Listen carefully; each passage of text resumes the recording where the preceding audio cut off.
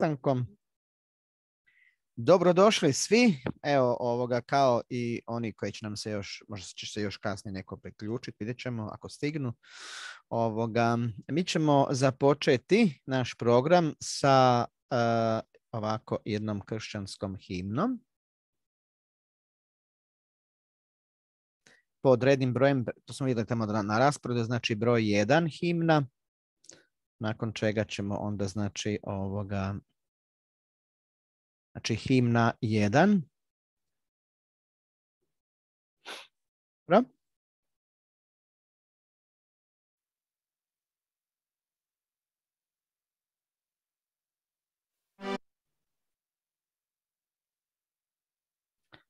Evo sad ćemo samo da sredimo ton. Tako.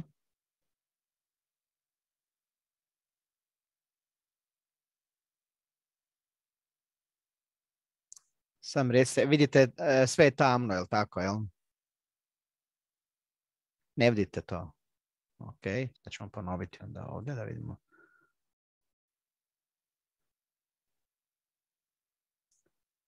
Ok, sad će biti.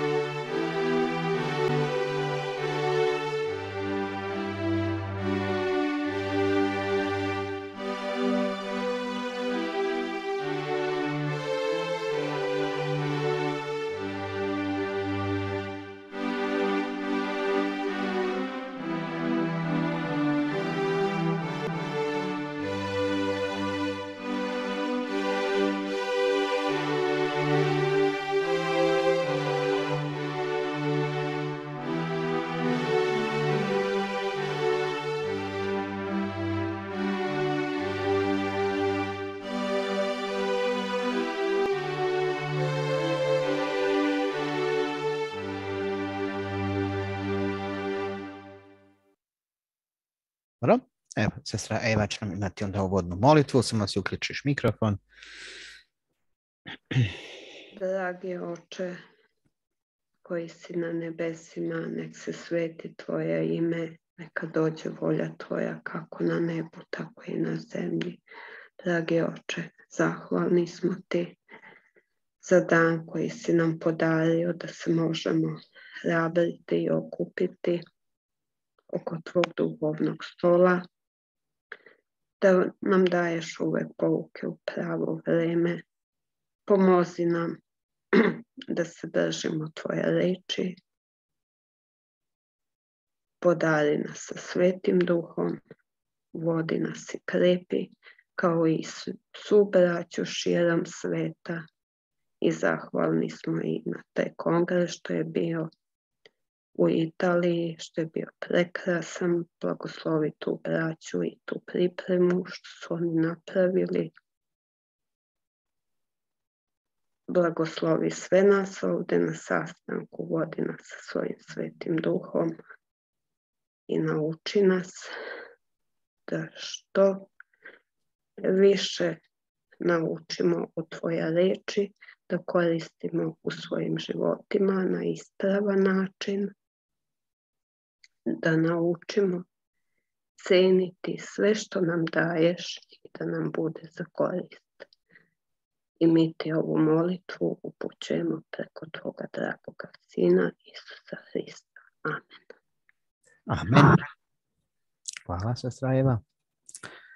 Evo, mi ćemo onda sada imati uh, današnju, znači, biblijsku propovjed za ovaj dan, nedelja 24.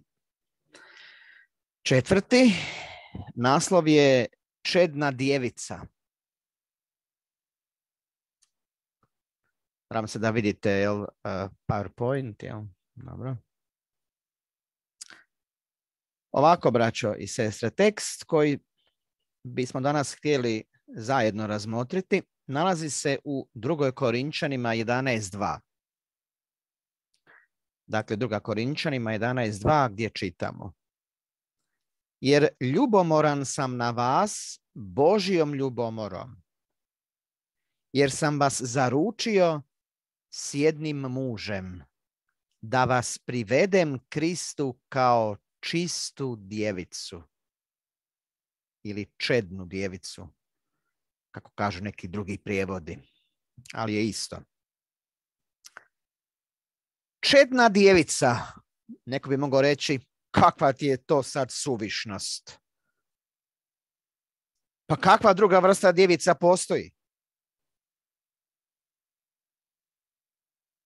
Po definiciji djevica je čedna. Inače, uopće nije djevica.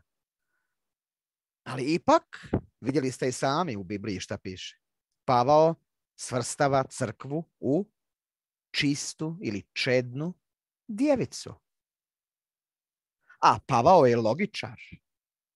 Pavao nije koristio nikakve suvišne izraze. Znači nije bez veze stavio taj izraz čista ili čedna djevica. Ima neki razlog zašto je to napravio. Ako ispravno razumijemo djevičanstvo na koje Pavao upućuje, poteškoća nestaje.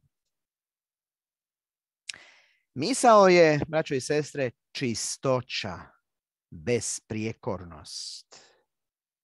Pavao to dobro opisuje u poslanici Efežanima u petom poglavlju, 27. redku. Znači Efežanima 5, 27 da bi je priveo sebi kao slavnu crkvu, bez ljage ili bore ili nečega takvog, nego tako da bude sveta i bez mane.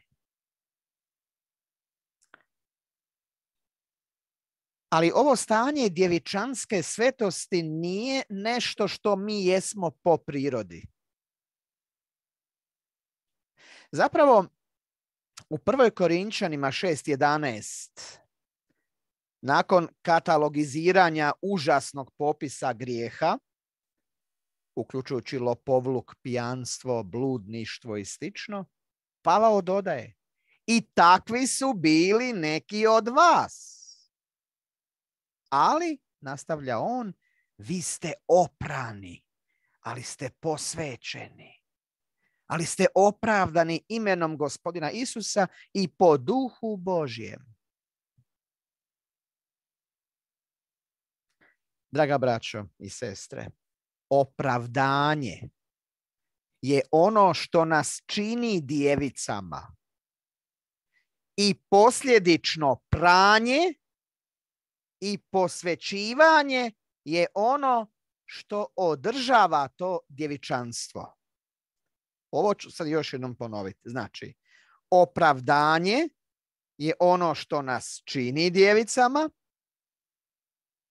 a posljedično pranje i posvećivanje je ono što održava ovo djevičanstvo. Onda kada Pavao govori o nama kao o djevicama, misli na našu opravdanu bezgrešnost ili čistoću. A kada on nama govori kao o čednim ili čistim djevicama, tu govori o održavanju te čistoće kroz pranje i posvećivanje. Jako zanimljiva misla, jel?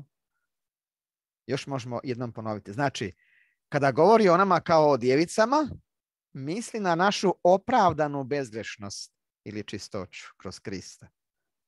A kada o nama govori kao o čednim ili čistim djevicama, govori o održavanju te čistoće kroz pranje i posvećivanje. Stoga je naše postajanje djevicama povijesni događaj u našem životu. Naša trenutna odgovornost je zadržati to djevičanstvo u njenoj autohtonoj čednosti. Duhovna čednost je apsolutni zahtjev za vjernost. Ova je čistoća detaljnije opisana u otkrivenju 14.4, gdje govoreći o 144 tisuće Ivan kaže, znači otkrivenje 14.4, to su oni koji se nisu okaljali sa ženama, jer su djevci. U otkrivenju knjizi simbola lako je vidjeti da se tu ne, ne radi o doslovnim ženama, nego o svjetovnim crkvama. Tu se govori o svjetovnim crkvama. E, drugim riječima, duhovna čednost ili čistoća je odvajanje od svjetovnog okruženja. Nekako ovaj bježi tu na slici. Jel?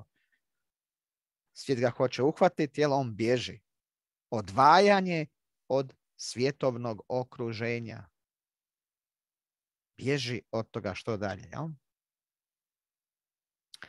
Ova ista misao se može vidjeti iz grčke riječi prevedene kao čista ili čedna e, u našem tematskom redku.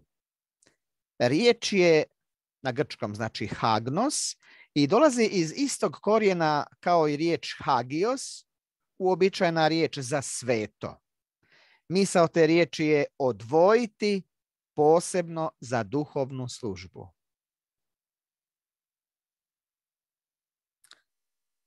Kako je važno, draga braćo i sestre, da se odvojimo poput Izraela staroga vremena od naroda zemlje. Ali Izraelu je bilo teško po tom pitanju. Često je baš to bilo razlog, e, uzrok ili razlog kako hoćete njihovog klizanja u idolopoklonstvo. I braćo i sestre, bojim se da ćemo i mi ponekada utvrditi teškim držati se odvojeno od svijeta i njegovih utjecaja onako kako bismo to trebali. Kad je Pavao opisao Timoteju u trećem poglavlju svoje druge poslanice o teškim vremenima, tamo u prvom redku i dalje do petog redka, koja će doći u posljednjim danima, naglašavao je pritiske koji će znači dolaziti na crkvu iz tadašnjih svjetskih prilika. A mi, braćo i sestre, živimo sada u to vrijeme, kad su došla ta teška vremena. I stoga je važnije nego ikad da se odvojimo. Kao čedna djevica, našem jedinom mužu, Kristu,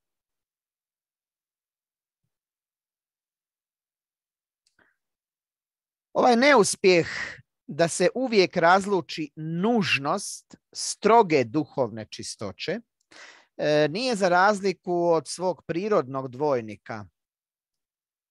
Ta čednost u kojoj svi shvaćamo da bi trebala postojati i kod muškog i ženskog. i posvećenog i neposvećenog do dana njihova bračnog zavjeta. Tu nekako svi očekuju da bi, da, da bi trebalo jel, biti, a ovdje ponekad kad riječ o duhovnoj čistoći, tu nekako uh, ne uviđamo to uvijek, jel? Nužnost te održavanja te stroge duhovne čistoće. Jel? Onda odvojimo, evo, sada ovom prilikom nekoliko trenutaka i primijetimo uh, kako su biblijski razlozi za održavanje prirodne čednosti, jel?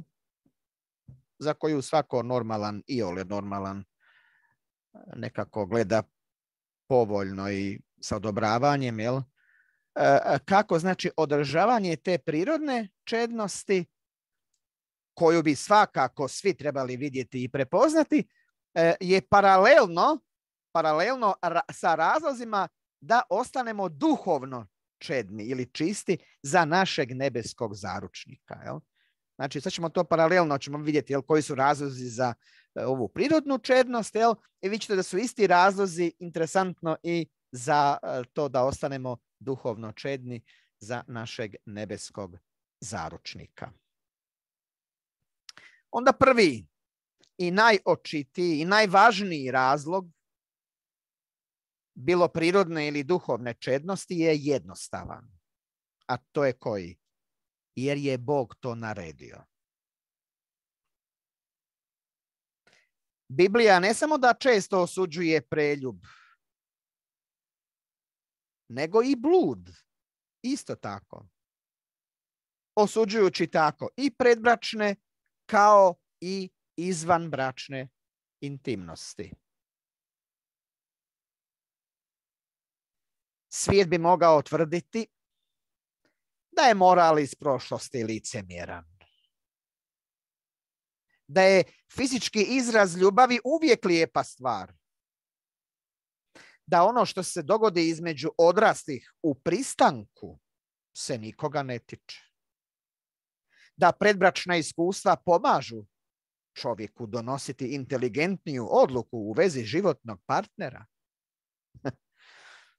Ali samo jedna, braće sestre, činjenica čini zabludom sve te racionalizacije, a to je koja? Bog to osuđuje. Oni mogu pričati šta hoće. Ja znam, znam tamo na poslu gdje sam radio, imao sam baš nekih tako razgovora, gdje, gdje su mi upravo ovakve stvari, stvari pričali. Sad koje smo vam tu predstavili. Jel? Upravo su mi te stvari govorili. Jel? Kao predbračni život, jel? Da se vidi da li se odgovaraju, onda žive zajedno. Ako ne odgovaraju, onda se e, razvoje i tako dalje. Veza bez obaveza, jel? što kažu tako u, svijetu. Jel? E, ajde, malo, braće se na trenutak e, razmislimo o Edenskom vrtu. Stvarno, što je bilo tako loše pojesti komad voća? Što je bilo toliko loše u tom, mislim? Pojesti komad voća. Nije bilo treće osobe koja bi bila povređena, je li tako? Eksperimentiranje ih je navelo da kušaju sva druga stabla. Što je bilo toliko pogrešno? Tako pogrešno da je donijelo grijeh i smrt cijeloj rasi više od šest tisuća godina. U jednostavnom činu jedenja komada voća. Jednostavno zato, braće i sestre, što je Bog rekao ne. Kao što postanak 3.6 kaže, postanak 3.6. A kad je žena opazila kako je stablo dobro za jelo i očima dopadljivo, te kako je stablo poželjno da učini nekoga mudrim, ubrala je plod s njega i pojela. Onda je dala mužu svome, koji je bio s njom, pa je i on jeo. Ali Bog je rekao ne. I to je bio kraj stvari.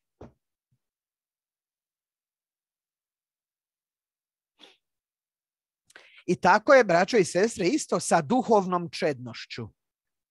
Isto. Biblija obiluje zapovjedima, zapovjedima, recimo imate izađi iz nje i ne diraj ništa nečisto. Izaija 52.11. Izađi iz nje moj narode, otkrivenje 18.4. Odvojite se od naroda zemlje, Ezra 10.11. I još bi tako mogli navesti listu, podugačku listu sličnih redaka. Nikakva količina racionalizacije o dobru koje može doći od miješanja sa svijetom i njihovim životima ne može nadvladati jednostavan diktat.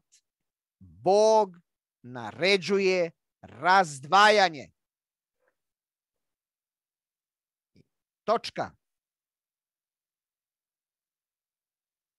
Prečesto o seksualnim običajima svijeta čujemo ovakav izraz. Ali svi to rade. Evo, to sam ja čuo na radnom mjestu. Pa svi to rade. Onda isto prečesto u pitanjima svjetovnosti u crkvi čujemo, ali brat taj i taj čini to i to. Ali brat taj i taj čini to i to pritisak vršnjaka po pitanju djelovanja ili postupanja čak je veći od pritiska vršnjaka po pitanju riječi ili govora. Jel? Ali ovaj argument koji je tako jak za naše palo tijelo izravno se pobija u knjizi Levitski zakon 20. poglavlje, 23. redak. Znači Levitski zakon ili treća Mojsijeva, 20-23. Ovo posebno poglavlje je detaljan katalog seksualno povezanih grijeha i zaključujući ovaj dio zakona nalazimo ove riječi. I nemojte hoditi po običajima naroda koje ja protjerujem ispred vas, jer su oni počinili sve to i stoga su mi se ogadili.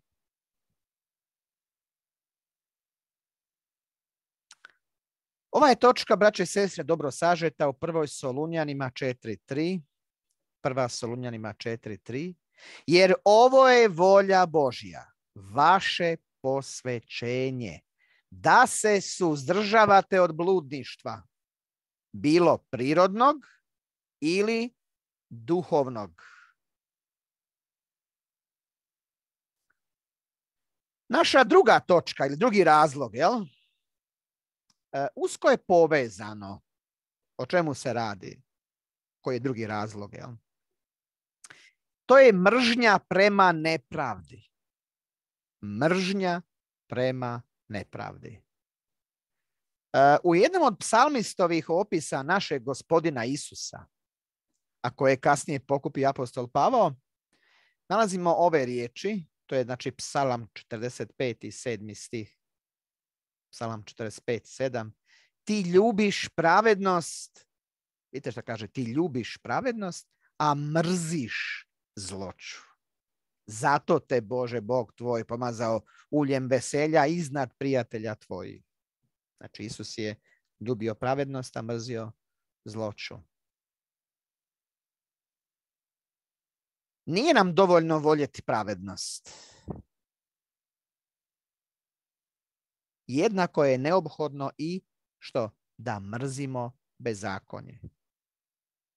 Ako ni zbog čega drugoga, onda kao utvrđivanje naše obrane protiv grijeha. To ako postignemo, to je onda jako snažna obrana.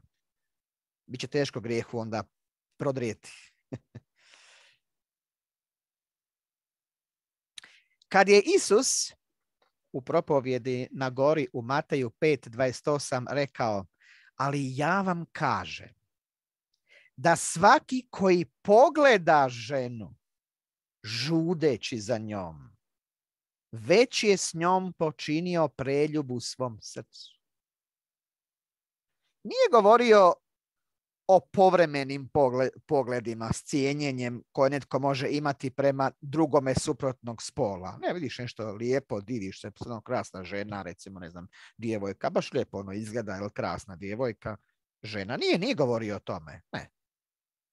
Govorio je o umu kojem je dopušteno da se zadrži na misli, da dopusti da se pogled razvije u senzualnu želju, neću govoriti, nije u redu da, da govorim o tome, ali vi znate na što se misli. Jel? U kom smislu? Jel? Pogotovo muški rod. Jel? Stara izreka, iako banalna, ipak je istinita.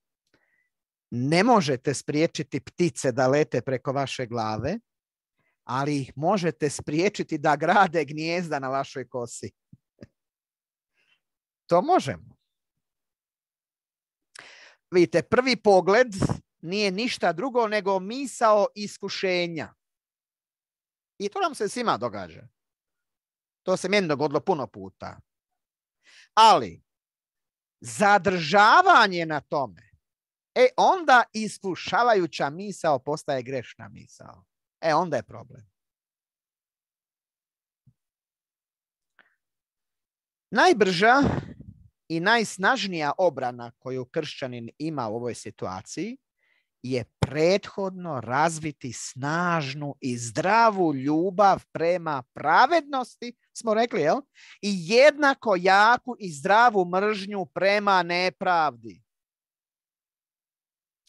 Definirajući Božju volju po tom pitanju, nije nam dovoljno samo pristati na vršenje te volje, nego kao što piše u psalmu 40. 8. stih, psalam 48. stih, rado mi je vršiti volju tvoju, o moj Bože. Rado mi je. Jedan drugi privod kaže, užitak mi je. Nakon što smo definirali grijeh, ne smijemo se samo suzdržavati od toga, braćo i sestre. To nije dovoljno, nego mrziti pomisao na to. Mrziti pomisao na to. Ne se samo suzdržavati. Nego mrziti i pomisao na to. Bilo da je riječ o požudi ili o nekom od bezbrojnih iskušenja od svjetovnosti koja ugrožavaju našu duhovnu čednost, nije dovoljno reći suzdržati ću se od iskušenja, ali o, kako bih volio da je gospodin to dopustio.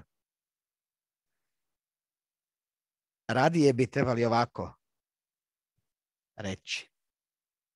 Prepoznajući da gospodin to ne želi za mene, tada ću se truditi da nemam želje ni za tim, ni želju za tim.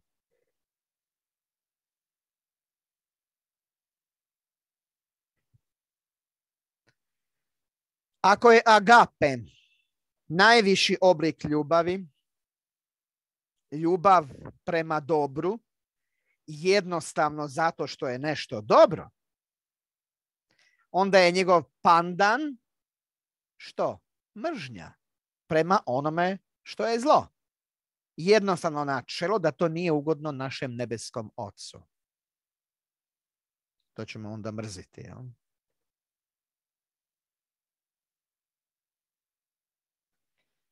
Idemo na treću točku, treći razlog. Glavni razlog. Radi se u biti o glavnom razlogu promiskuiteta ili nedostatka čednosti. A to je obožavanje sebe radije nego štovanje Boga. To je veliki problem. Raspravljajući o nedostatku seksualnih e, manira i tako nekih tih pravila i tako dalje, običaja među poganima, Pavao e, u prvom poglavlju poslanice Rimljanima navodi tri razloga za njihovo degradirano stanje. Znači, poslanica Rimljanima, prvo poglavlje, vidjet ćemo u nastavku. Prvi od njih nalazi se u recima 21 i 22. Znači Rimljanima 1, 21 i 22. Jer kad su prepoznali Boga, nisu ga proslavili kao Boga, niti mu zahvalili, nego su postali isprazni u svojim mozganjima, te je potamnjelo njihovo bezumno srce. Tvrdeći da su mudri, poludjeli su.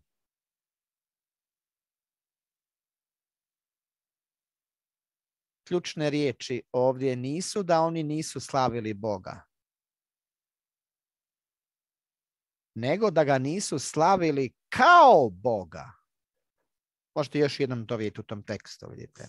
Piše, nisu ga proslavili kao Boga. Znači, ne piše da, ga nisu, da nisu slavili Boga, ne. Nisu ga proslavili kao Boga. Drugim riječima, nisu priznavali Božje pravo da rukovodi njihovim životima. U novije vrijeme ovaj isti koncept ponovno se pojavio pod novim i sofisticiranijim nazivom egzistencijalizam. Koncept da ne postoji apsolutna istina, da je svaka istina subjektivna u odnosu na činjenice postojanja svakog pojedinca. Kako je to stvarno drugačije, braćo i sestre, od jednostavnih riječi iz izreka 1.7, izreke 1.7, strah gospodnji, odnosno poštovanje njegovog prava da zapovjeda za naš život, priznanje njegove riječi kao apsolutne istine je početak znanja. Stvarno sasvim suprotno. Drugi uzrok koji Pavao bilježi u Rimljanima 1 nalazi se u 25. redku. Znači Rimljanima 1.25.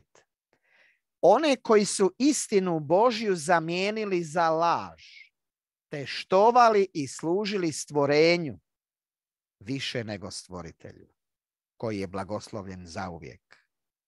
Amen.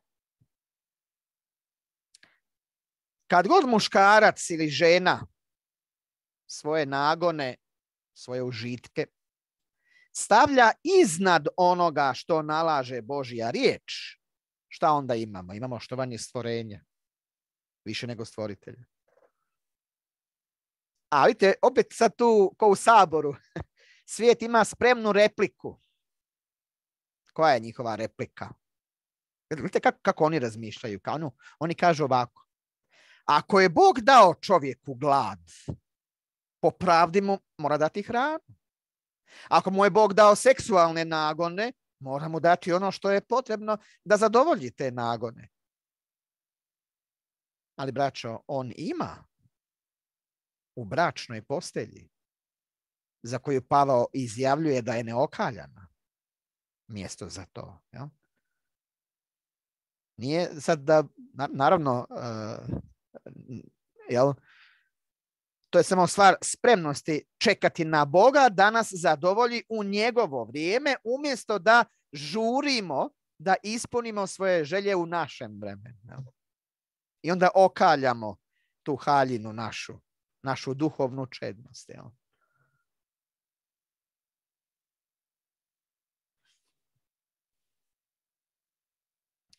I ovaj drugi problem, znate, dodatno je ojačan ako riječ amen uzmemo na kraju redka 25 i prevedemo ga na način na koji se obično prevodi amen u istinu i ako stavimo ju na početak 26. redka.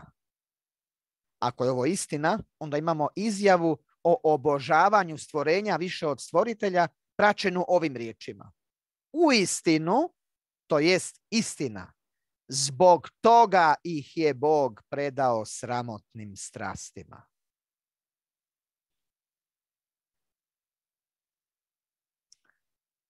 Treći od Pavlovih razloga u Rimljanima prvo poglavlje jezgrovito je izrečen u 28. retku.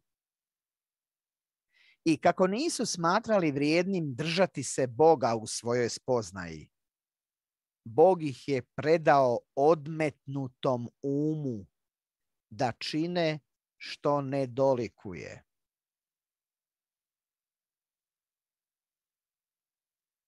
Nažalost, to je samo previše istinito sa svima nama. Zbog pale ljudske prirode, da kada naše snažne želje dođu u sukob sa Božjom riječi, pogotovo kada ne vidimo nikakav očigledan razlog za njegove naredbe, da i mi ne volimo zadržati Boga u, u našim mislima, nažalost.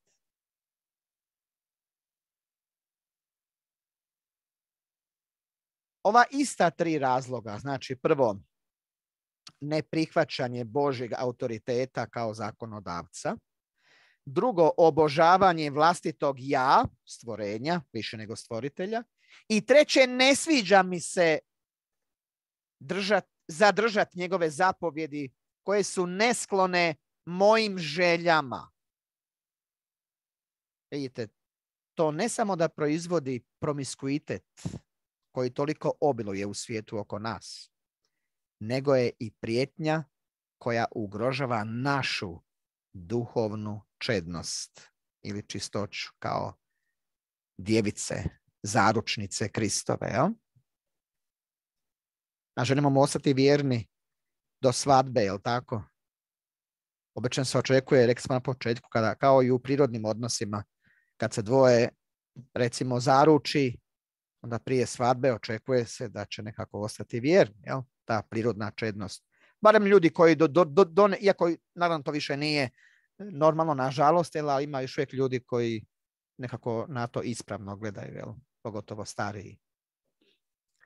Nisu, nisu toliko iskvareni. Jel? Ne mogu, ne mogu sve svoje vrijeme provoditi u vjerskim stvarima, viče tijelo. Što je tako pogrešno s odlaskom na ples? Ili na svjetsku zabavu? Ili vikend skijanja? Ili malo pića sa društvom? Ili bilo koji drugi od desetaka mamaca koji bi nas okrenuli daleko od puta potpune posvećenosti. Može se odgovor ne može reći bolje nego u riječi anđela na otvorenom grobu učenicima koji vire u njega. Zašto tražite živog među mrtvima?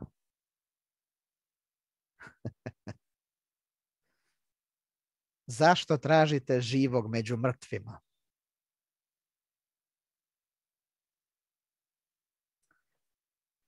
Zbog našeg četvrtog razloga vratimo se, braćo i sestre, podrijetlu rase i zapazimo razloge zašto je Bog stvorio muško i žensko. Tako različitima i planirao el, to njihovo fizičko međudjelovanje. Činjenica da nije isključivo za razmnožavanje očituje se iz dva razloga. Prvo, takvo razmišljanje ne samo da bi eliminiralo sav koncept kontrole rađanja, već također sve tjelesno sjedinjenje nakon godina rađanja. Drugo, to bi učinilo fizički čin strogo biološkom funkcijom, odvajajući ga od ljubavnog odnosa koji smo svi počeli njegovati u bračnim vezama, to jest oni od vas koji ste u braku, ja nisam, jel? Još uvijek. Biblijski razlog ponovnog sjedinjenja muškarca i žene lijepo je naveden u knjizi Postanka 2.24. Znači Postanak 2.24. Stoga će čovjek ostaviti oca svog i majku svoju te prionuti uza ženu svoju i oni će biti jedno tijelo.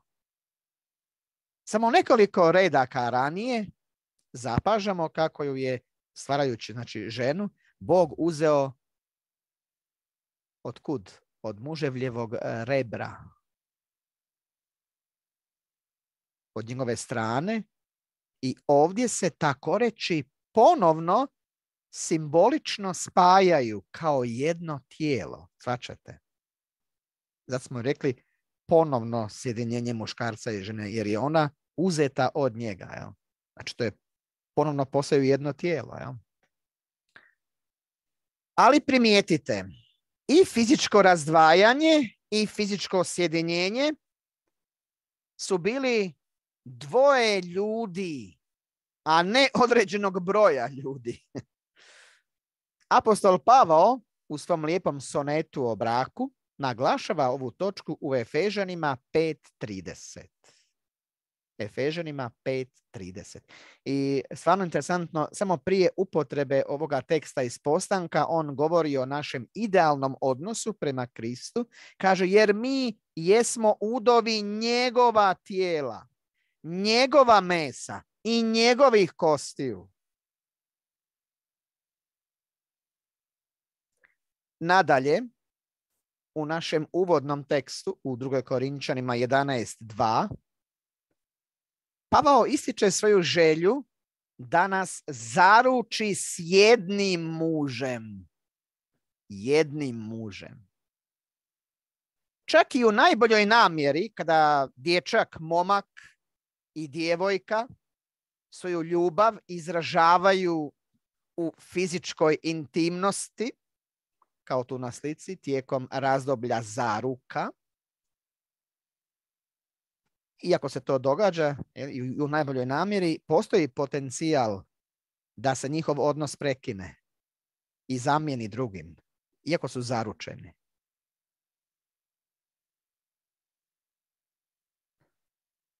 U duhovnim stvarima ovo sjedinjenje sa jednim mužem i samo jednim treba biti snažna motivacija za nastavak odvajanja od svijeta. Kako volimo pevati himnu koju ćemo na kraju ove propovedi pjevati? Moj cilj je Krist i samo Krist. Ali kako je teško to slijediti, braćo i sestre, tijekom cijelog životnog posvećenog puta. Rekli smo, oni se mogu čak i u najboljoj, iako ono, jesu zaručeni, pa na kraju ima puno, ja znam puno slučajeva koji su se razdvojili, nisu došli do braka, jel? A mi smo zaručeni s tim jednim mužem, znači i mi želimo njemu ostati vjerni do kraja. Nema više, kad se jednom s njim zaručimo, nema, mislim, možemo, ali to je onda propast, jel? Ali kažem, mi svi volimo pjevate himne, ja prvi, ovoga, jedno je pjevati, a drugo je živjeti. I to cijeli život. Naš peti razlog je usko povezan. Jednostavna riječ. Predanost. U starom zavjetu postoji niz odnosa opisanih između muškarca i žene. Osim braka postojala je i bigamija ili poligamija. Kao David sa svojim brojnim ženama. Onda postojao je e, konkubinat kao Abraham i Salamon. Surogat majčinstvo kao Hagara i sluškinje Rahele i Leje. Onda isto ponovni brak Ketura i Abraham nakon Sarine smrti bludnost kao Juda sa svojom snahom, silovanje, Amnon i Tamara, to su Davido, Davidov sin Amnon i Tamara, to mu je bila sestra.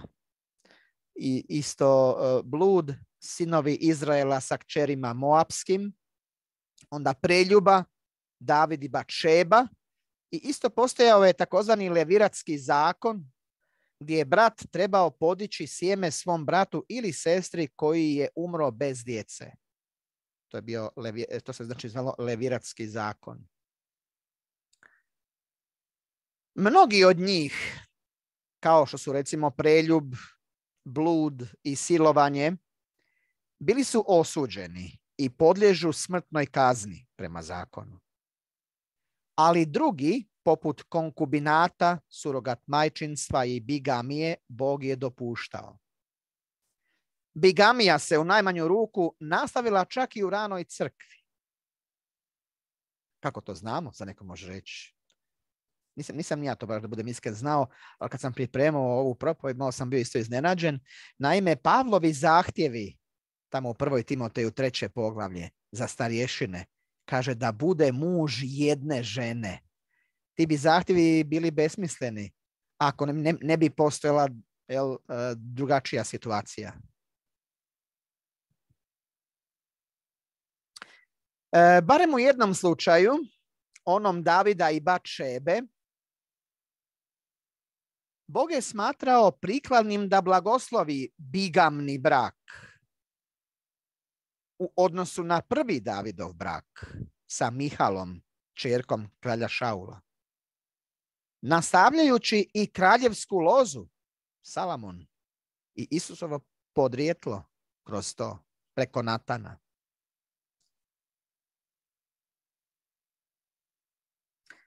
Kada nastojimo utvrditi što je učinilo jedan odnos dopuštenim, a drugi ne, vidimo jednu razliku, braćo i sestre. Predanje. Predanje ili predanost.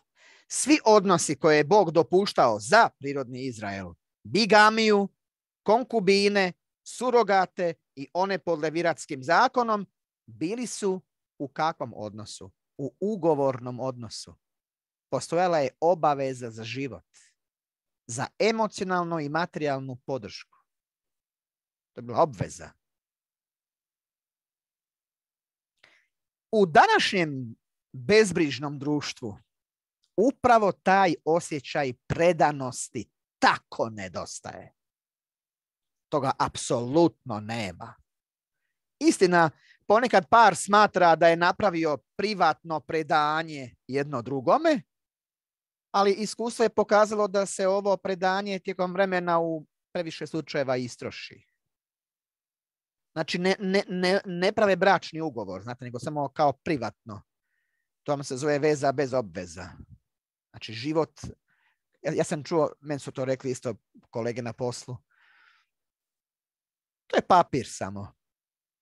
Bračni ugovor. To je papir. Šta će ti to?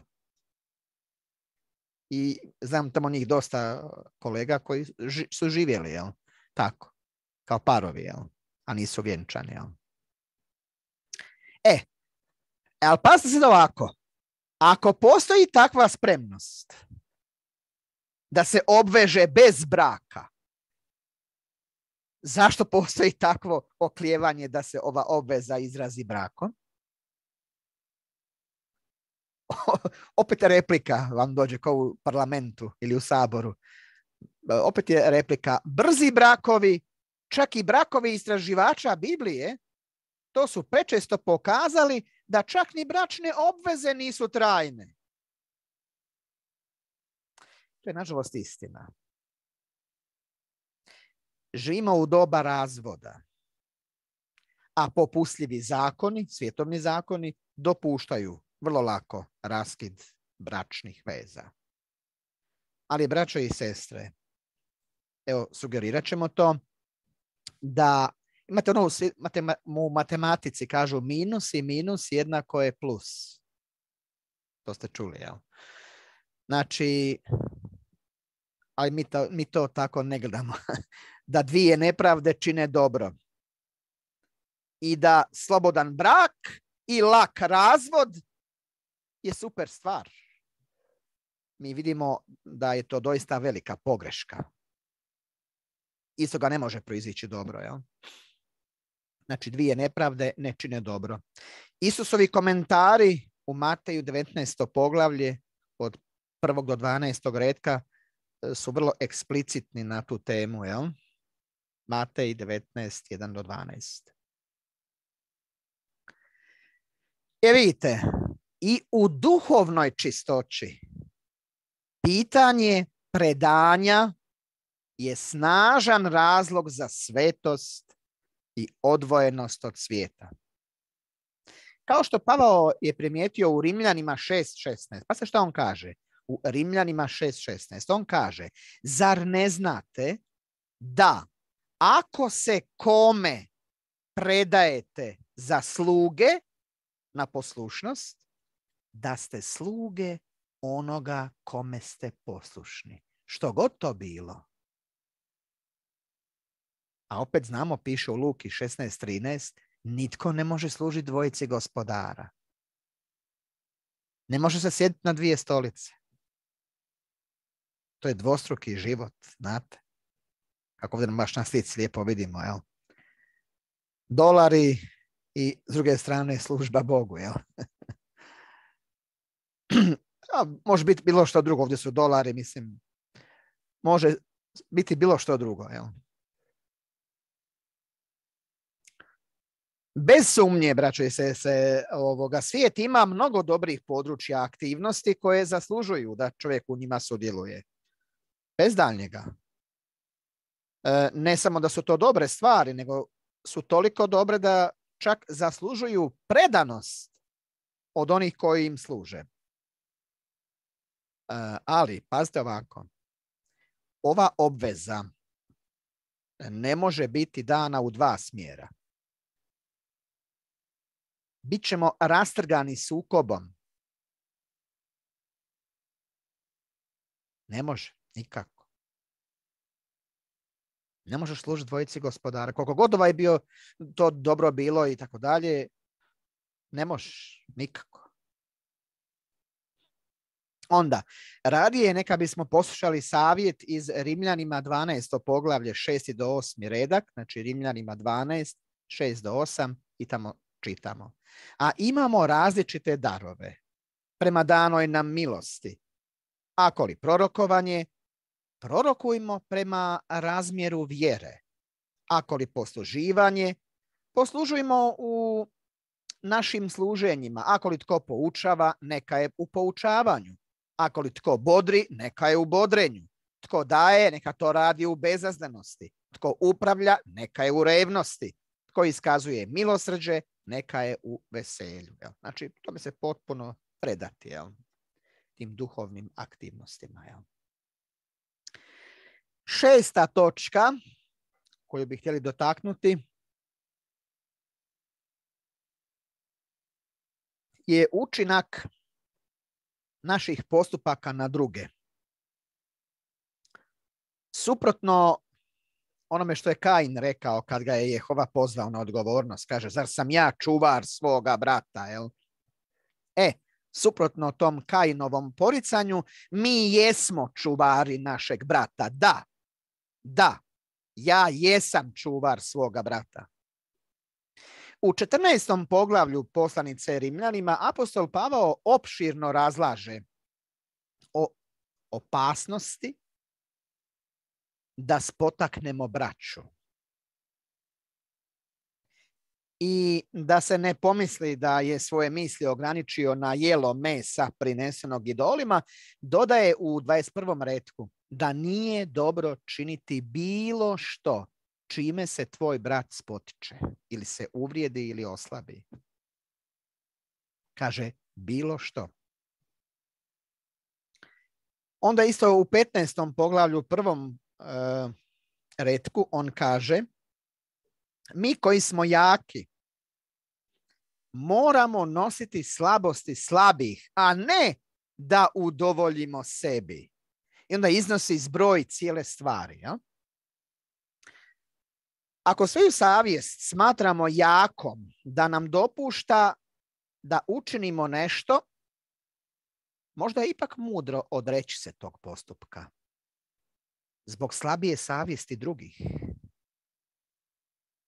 Opasnost od počinjenja radnje koju ne smatramo grijehom, a što potiče drugoga da učini isto mimo svoje savjesti, predstavlja opasnost i to se, braće i sestre, ne može prenaglasiti. To se ne može prenaglasiti. Zaključujući sličnu raspravu u prvoj Korinčanima 10.31, njegov sažetak glasi. Prva Korinčanima 10.31. Ako dakle jedete ili pijete ili što drugo činite, sve činite na slavu Božiju. Onda, braćo i sestre, stvarno, može li bilo koje djelovanje koje slabi, bilo prirodno ili duhovno, čistoću kršćanina biti na slavu Božju? Ja mislim da ne. Ali ova opasnost je, znate, dalja od e, one spoticanja drugih.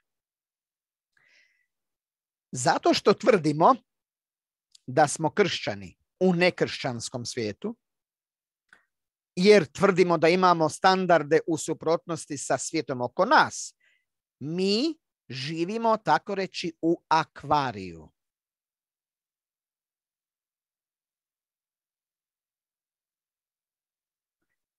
O tome opet govori Pavao kada u drugoj Korinčanima 3.2 kaže za crkvu u Korintu, znači druga Korinčanima 3.2. On kaže, vi ste naša poslanica, zapisana u vašim srcima, poznata i čitana od svih ljudi. Znači, kao što ovaj tu gleda, vidite ove ribice lijepe u akvariju. Tako i nas gledaju, znate. Kao te poslanice. Kaže, poznata i čitana od svih ljudi. Imajući to na umu, on nastavlja u šestom poglavlju, u trećem redku sa opomenom. Kaže, ne pravimo ni u čemu nikakvu smutnju, da se ne bi naša služba proglasila krivom. Draga moja braćo i sese, neka nitko od nas ne pomisli da je ovdje, vidite ovdje gdje se kaže služba, i to ovdje u 6.3, znači druga Korinčanima 6.3 kaže ne pravimo ni u čemu nikakvu smutnju da se ne bi naša služba proglasila krivom. Znači, ne bi, nemojte pomisliti da se tu radi o službi starješine. Svi smo mi službenici Božiji. Pomazani, kako kaže se to pismo, propovijedati dobru vijest krotkima. Služba o kojoj se ovdje govori nije služba sa propovidaonice, već služba pomirenja koja je predana svakom Božijem djetetu. Ali čak i oni, vidite, odlomci koji se odnose na starješinstvo, kao što je prva Timoteju 3.7, gdje je kvalifikacija za ovu službu imati dobar izvještaj od onih koji su izvan, da ne bi upao u prijekor i zamku džavolsku, mudri su savjeti za sve.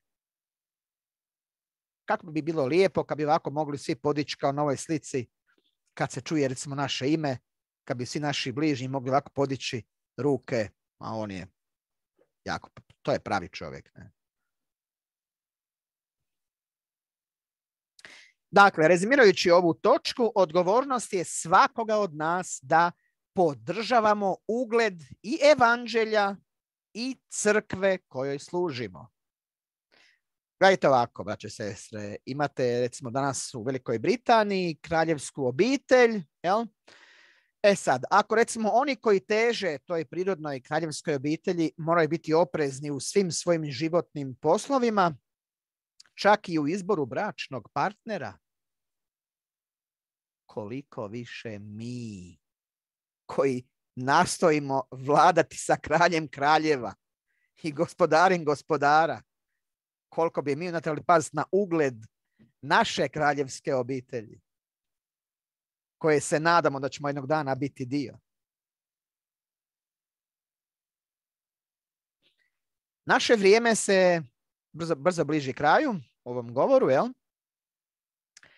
A eto, imali smo mali dio vremena za obraditi nekih šest aspekata naše teme. Vrijeme nam ne dozvoljava da razmotrimo mnoge dodatne opasnosti koje leže na putu, bilo prirodne ili duhovne nevjere.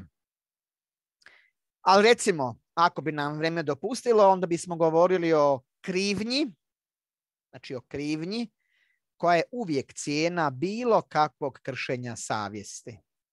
Prema Rimljanima 2, 14 i 15. Ili bismo mogli govoriti o neprirodnosti takvih dijela koja se navode u Rimljanima 1.26. Ili bismo mogli razmotriti urođenu sebičnost koja potiče takve postupke. Ili nadalje o opasnosti života za sadašnjost umjesto za vječnost.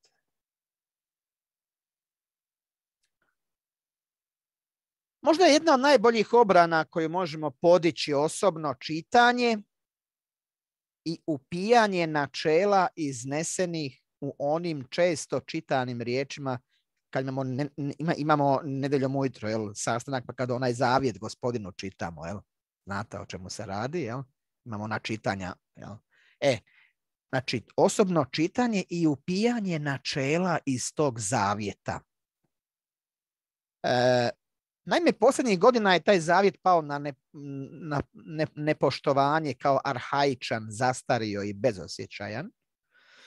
Možda je to došlo zbog njegove pretjerane upotrebe, zbog čega može izgledati ritualno i onoliko kao mantra, kao recimo iz Zava Marija, oče naš u katoličanstvu. Jel?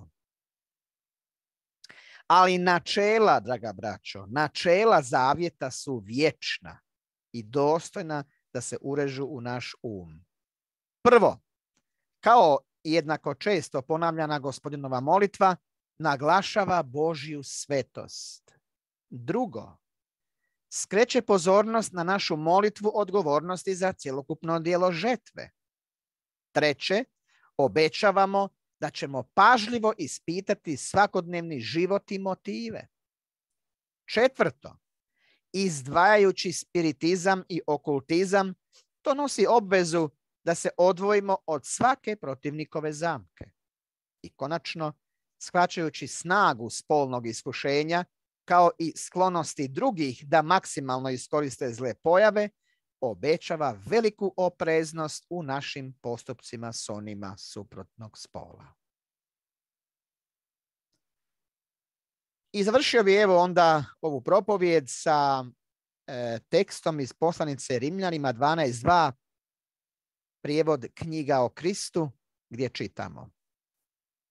Ne oponašajte ponašanje i običaje ovoga svijeta već dopustite da vas Bog promijeni u novu osobu, mijenjajući vaš način razmišljanja. Tada ćete znati što Bog želi da činite, što je njemu dobro, ugodno i savršeno. Neka gospodin, draga braćo i sestre, doda svoj blagoslov na misli koje smo izrekli u ovoj današnjoj prekrasnoj propovjedi. I sad ćemo imati, rekao, rekli smo himnu e, ovoga e, broj četiri, jel, koja nosi naslov e, Moj cilj je Krist.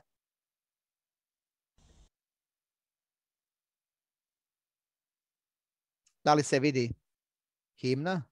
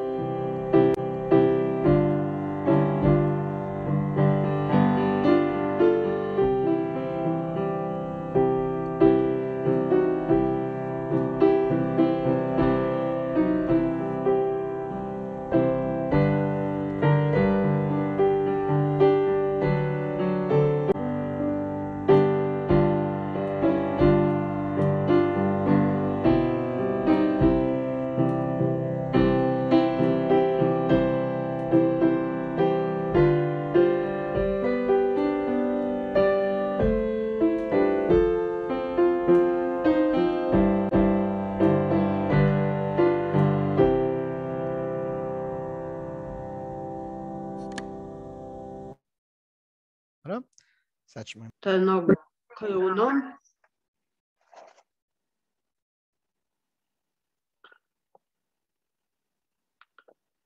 I obilježeno dugom, tugom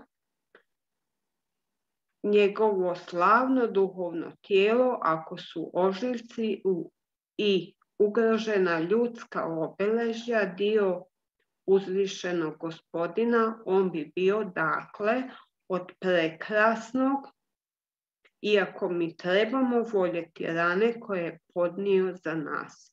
Iako on tako nosi nesavršenost oživcima, ugroženo tijelo, iako ćemo mi biti poput njega, za to ne bi podrazumijevalo da će apostoli i sveci koji su bili razapeti, obezglavljeni, kamenovani do smrti, spaljeni, raskomadani na komadiće od zvijeri, isto tako kao i oni koji su doživjeli nesreću na isti način svaki nositi svoje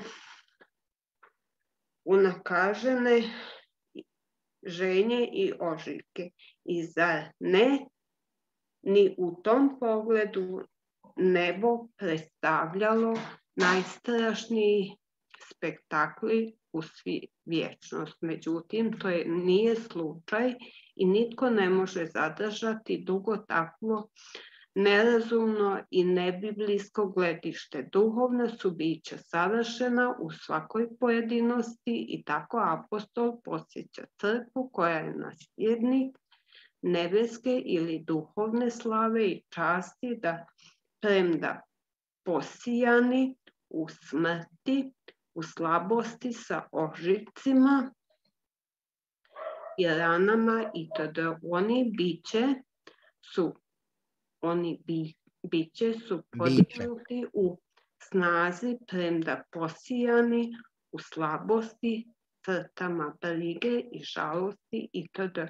podignuti su u slavi, premda je posijano tijelo, tijelo, doslovno, životinsko tijelo, biti će podignuto duhovno tijelo i kao što smo nosili obličje zemaljskog oca, mi ćemo nositi lik nebeskog gospodina, gospodina. Prva Korinčanima 15, 42 do 51.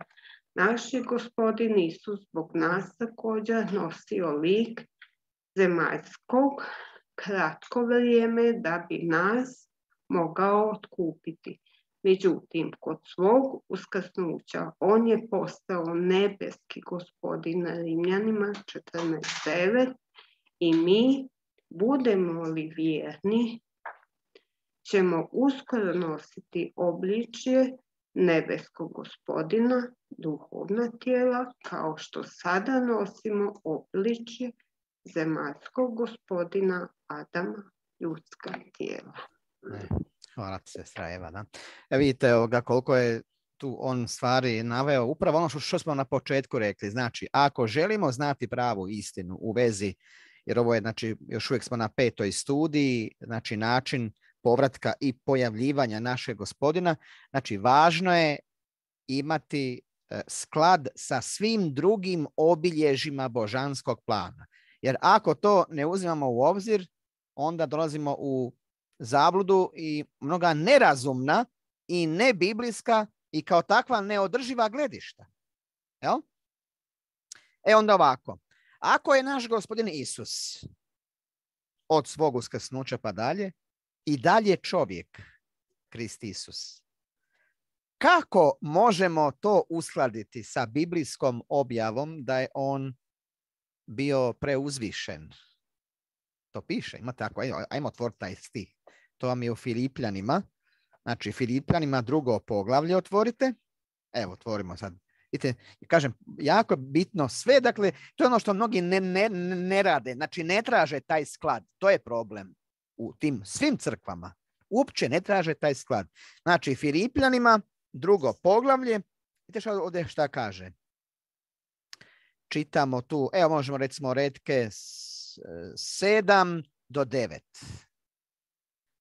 Evo sestra Eva.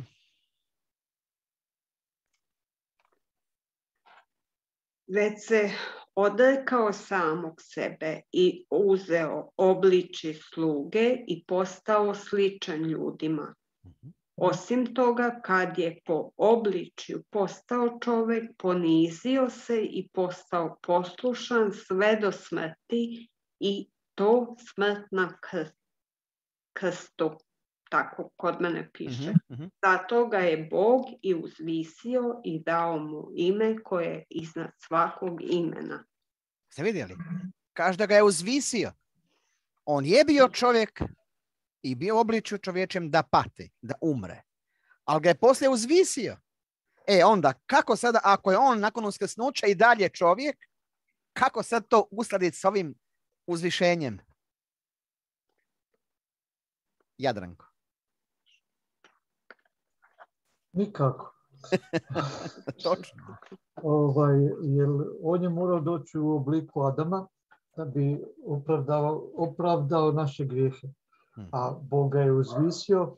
e, Jer da je ostao čovjek, mogao bi biti samo u najboljem smislu savršen čovjek, znači ispod anđela, ne bi Bravo. mogao biti iznad njih. E, to bi onda, evo i tu smo u tekstu prije pročitali, da to bi bio horror film, da svako od nas recimo pogine u saobraćajnoj ili u, u, u požaru ili u nečemu i sad tako da bude ovaj, poslije smrti u, to, u tom obličju. Ne. Znači ne dolazi obzir, nego e, ako Isus isto tako uskrsnuo u- kao duh, tako ćemo i mi ovaj, uskrsnuti. I nema govora da će biti u nekakvom ljudskom tijelu ili onda bi bio svako ili osakačen ili na neki drugi način ne bi bilo ni po Bibliji ni po ničemu. Ne. Da. Jer pazite, ako kaže, a to nam piše, možemo to isto otvoriti, to vam piše u prvoj Ivanovoj, treće poglavlje. Znači prva Ivanova poslanica, treće poglavlje, drugi redak. Znači prva Ivanova 3.2. E, može brati Jadranko. Dragi prijatelji, sad smo Božja djeca, a što ćemo biti u budućnosti, još nam nije pokazano. Ali znamo da ćemo kada Krist dođe biti poput njega, jer ćemo ga vidjeti onakvog kako, kakav jest. Da. Ne kakav je bio, nego kakav jest. Ja. E, a, e sad, ako ćemo mi biti, ako je on u tijelu sa ožiljcima i ranama i od, na glavi i na rukama, nogama, na po tijelu, znamo šta je sve prošao. Ako ste gledali onaj film Pasija, pogotovo onda znate o čemu se radi. A ono je vjerodostojno baš prikazano, bičanje sa onim, pogotovo taj uh, flagrum, takozvani bič rimski, to je bilo katastrofa, to je stvarno ra- razdiralo meso ovoga. Pa zamislite se onda, ako ćemo biti kao što je on, što je rekao Jadranko, koliko puno su sveti kroz doba bili mučeni, piljeni, glave im odrubljene, na lomačama spaljeni. Pa onda bi to bilo, na što bi to ličilo? Ako ćemo, mislim, sestra Eva, Pa ja sam samo, ja sam samo toliko htjela reći da je on postao nebeski gospodin.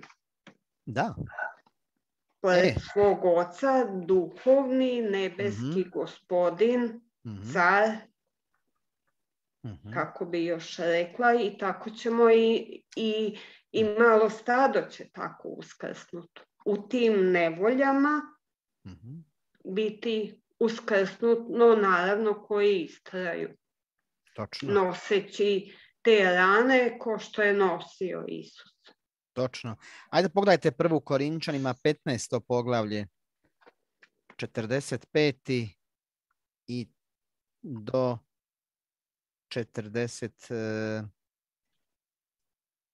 49. redka. Znači, prva Korinčanima 15, 45 do 49. A mogu ja čitati sada. Znači, prva Korinčanima 15, 45 do 40. Kaže, tako je i napisano. Prvi čovjek Adam postao je živa duša. Posljednji Adam postao je duh koji daje život. Ali prvo nije duhovno, nego tjelesno. Pa onda duhovno. Prvi čovjek potiče sa zemlje i načinjen je od zemaljskog praha, a drugi čovjek potiče s neba. Kakav je onaj koji je načinjen od praha, takvi su i drugi koji su načinjeni od praha. A kakav je onaj koji je nebeski, takvi su i drugi koji su nebeski. I kao što nosimo obličje onoga koji je načinjen od praha, znači to je zemaljsko, nosit ćemo i obličje onoga koji je nebeski, znači duhovno. Pa jel to ne može biti jasno, jasno nego što je? I isto vidite ovdje, gledajte ove redke, recimo imate um,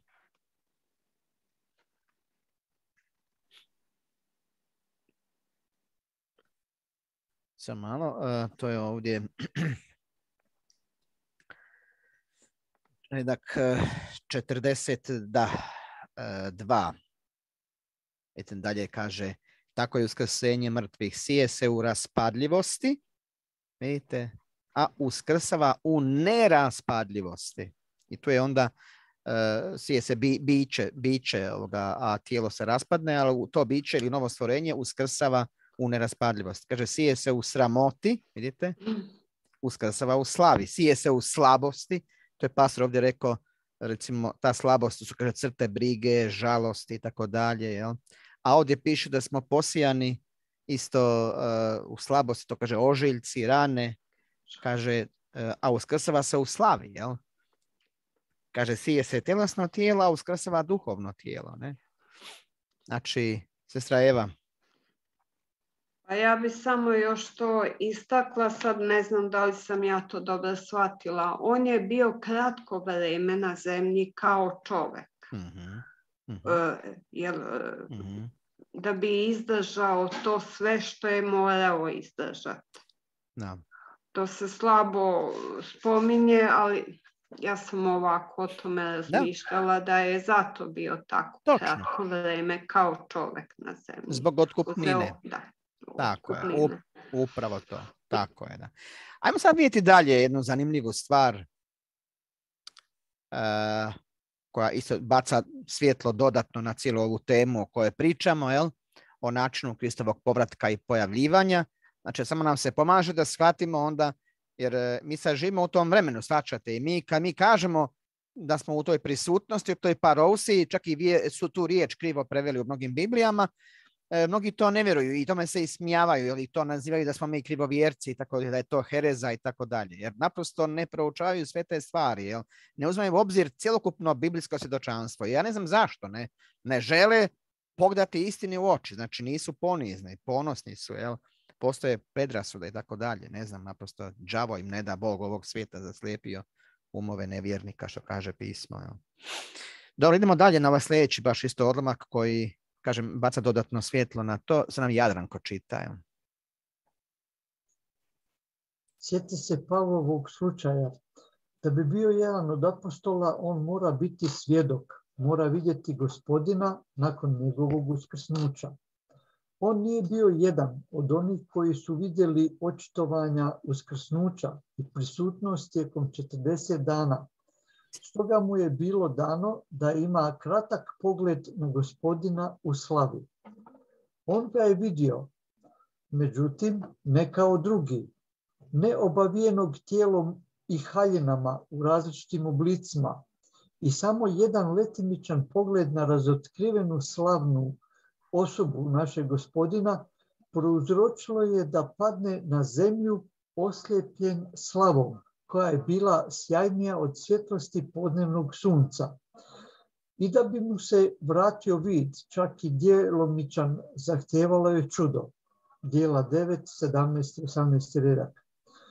Zar Pavao nije vidio gospodina kakav on uistinu jest, kao duhovno biće?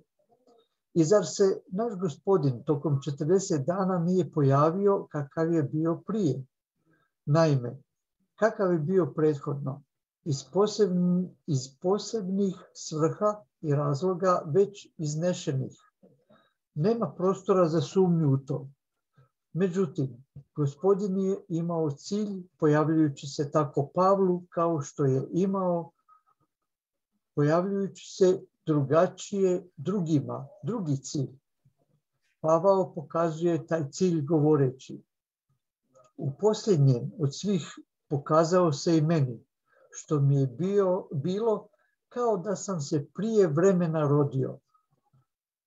Kao što je uskrsnuće našeg gospodina bilo njegovo rođenje od mrtvih, u punu savršenost duhovnog bića, tako se i na uskrsnuće crkve, Kristovog tijela, ovdje i na drugim mjestima ukazuje kao na rođenje.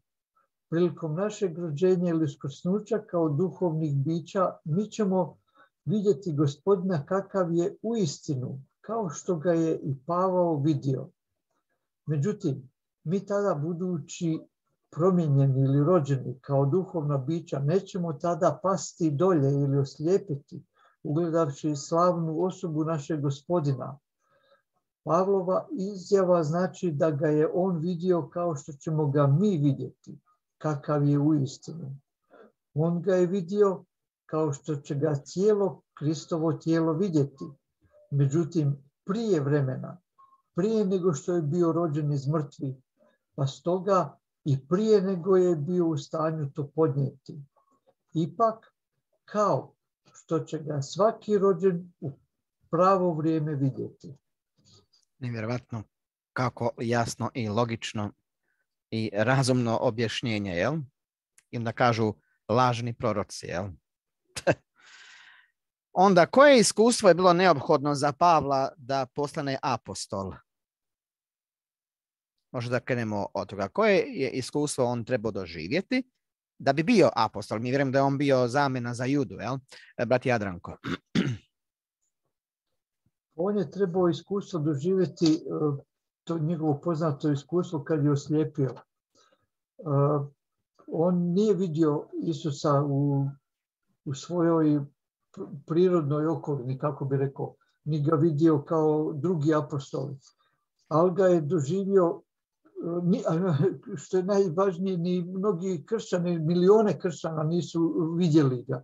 Ali će ga vidjeti u njegovoj e, slavi, znači u duhovnom pogledu.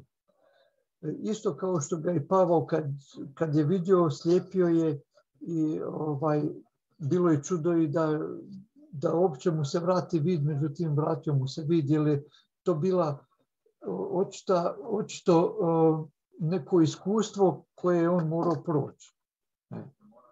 Da, znači morao je kao i ostali apostoli biti svjedokom gospodinovog uskrsnuća, jel?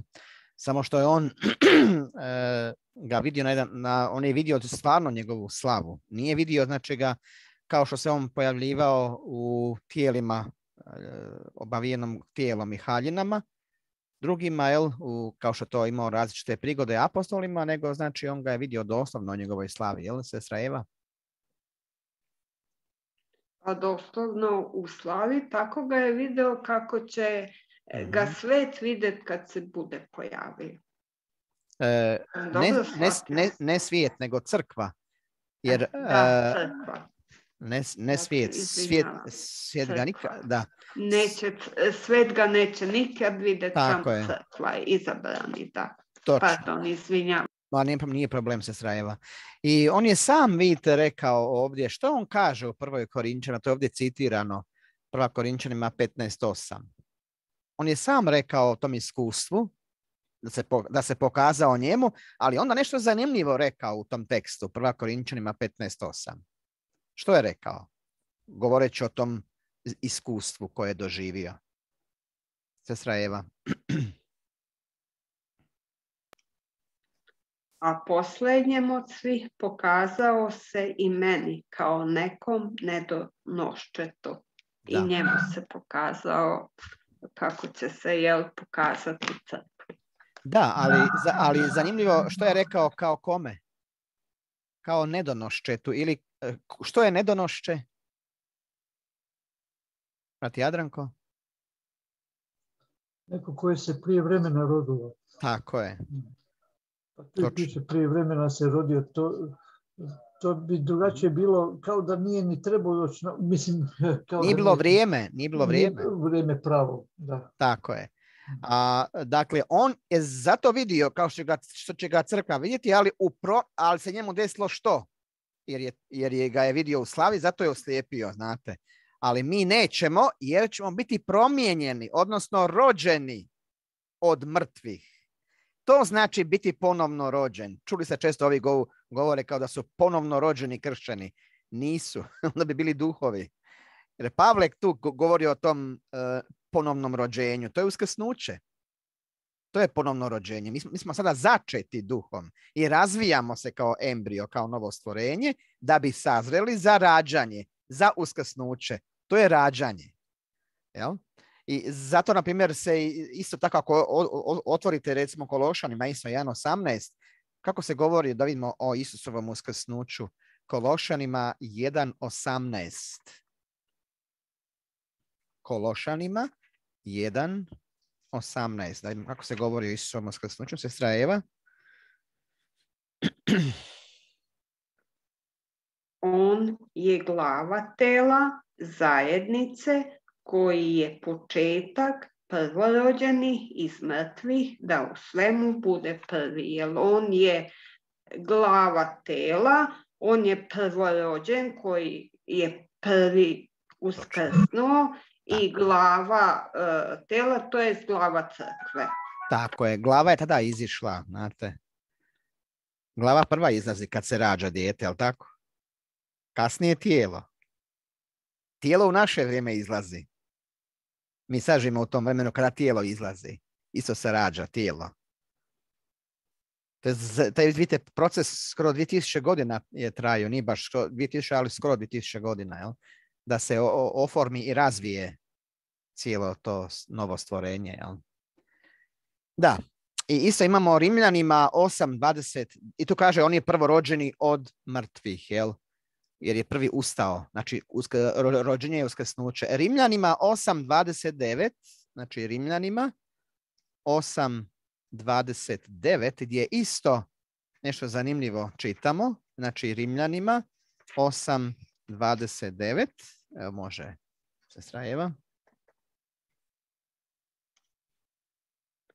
Jer one koje je unapred znao njih je i predodredio da se za saobraze po obličju njegovog sina, da on bude prvorođeni među mnogom braćom. E, vidite, prvorođeni među, znači i drugi će biti rođeni. Ali on je prvi rođen. A i drugi će biti rođeni, vidite, odnosno uskrsnuće, ustaće. Znači to je rođenje onda kada neko kaže da je ponovno rođen kršćanin, taj laže. Nije. onda bi uskrsnuo zapravo. Mi ćemo biti ponovno rođeni kada uskrsnemo. E, tad ćemo ga vidjeti i bez ikakvih posljedica. Pavle je oslijepio, mi nećemo morati oslijepiti. Ne? Super, vidite kako to sve, sve to ima, vidite, to sve čovjek treba znači uzeti u obzir, sve vidite te, vidite te dijelove Biblije, cijeli taj Boži plan, da bi čovjek to ispravno razumio i shvatio, jel? Te prekrasne zaista stvari. da imamo sad dalje, 134. stranica, prvi odlomak, jel? sad je nameni red za čitanje. Kaže ovako, Mojsije, silazeći iz brda, da prenese Izraelu save zakona, bio je predslika velikog zakonodavca i posrednika novog saveza, koji će kod svog drugog dolaska doći da vlada i blagoslovi svijet. Mojsije je prema tome predočavao cijelu crkvu kojoj je naš gospodin glava. Mojsijevo je lice sjajilo, tako da ljudi nisu mogli gledati u njega, pa je nakon toga morao nositi veo kao predslika duhovne Kristove slave kao ilustracija točke koju sada razmatramo, Krist ima stvarnu slavu i sjaj, točnu sliku očeva bića i mi ćemo biti poput njega. I nijedan čovjek ne može gledati u tu slavu. Stoga, kako će god biti očitovanje zakonodavca svijetu, kada će se slava gospodinova otkriti, slava duhovnih osoba ne može se vidjeti. Oni će govoriti kroz veo, pod pokrivalom. To je isto tako kao i više od toga. Mišljeno sa Mojsijevim velom ili pokrivalom. Ajmo otvoriti baš taj tekst, ovo mi je znači druga Mojsijeva ili knjiga izlaska, 34. poglavlje, znači izlazak 34, reci 30 do 33. Baš da vidite taj izvještaj je vrlo zanimljiv. znači, 34. poglavlje izlaska može brati Jadranko.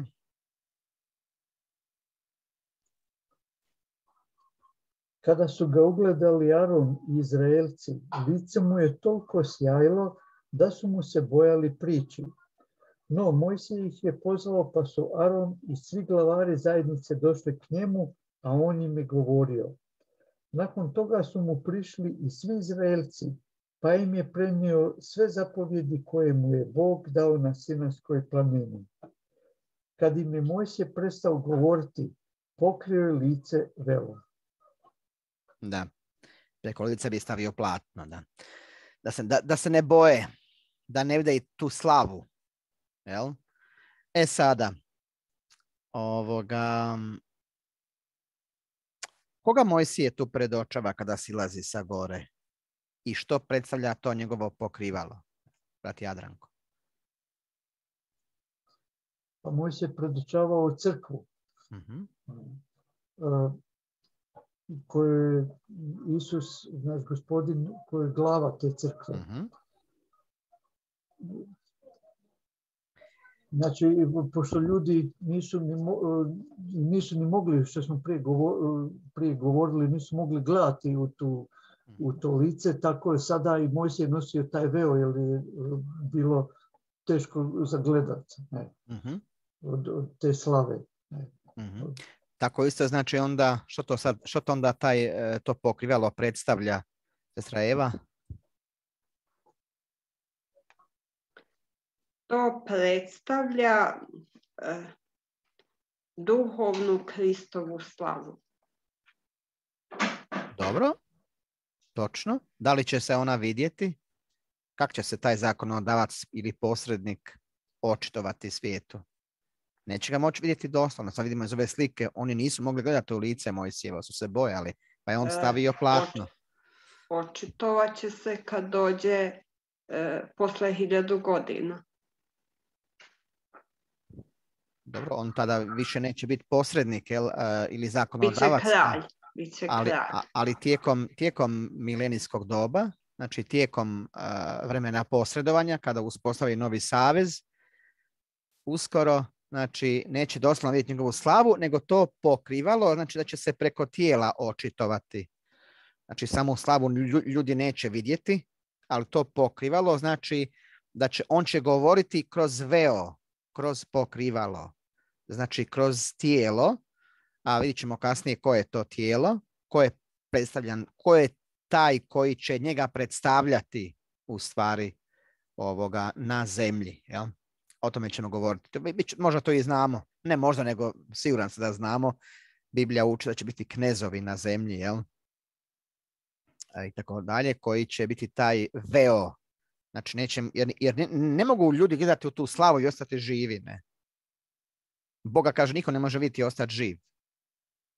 Jel? Ali, a mi ćemo biti kao on, jel? A on je odraz očevog bića, prema tome ne mogu tu ljudi ne, ne, ne mogu podnijeti slavu duhovnih osoba, jel? ali će kroz veo govoriti, znači preko tijela. Imat će svoje zastupnike na zemlji, jel? to su ti kneževi. Jel? Evo i to isto nam pomaže znači razumjeti malo bolje cijelu tu stvar oko njegovog dolaska i načina pojavljivanja. Dobro, idemo dalje. 135. stranica, e, prvi odlomak. Evo, sestra Eva, sad nam ti to čitaš.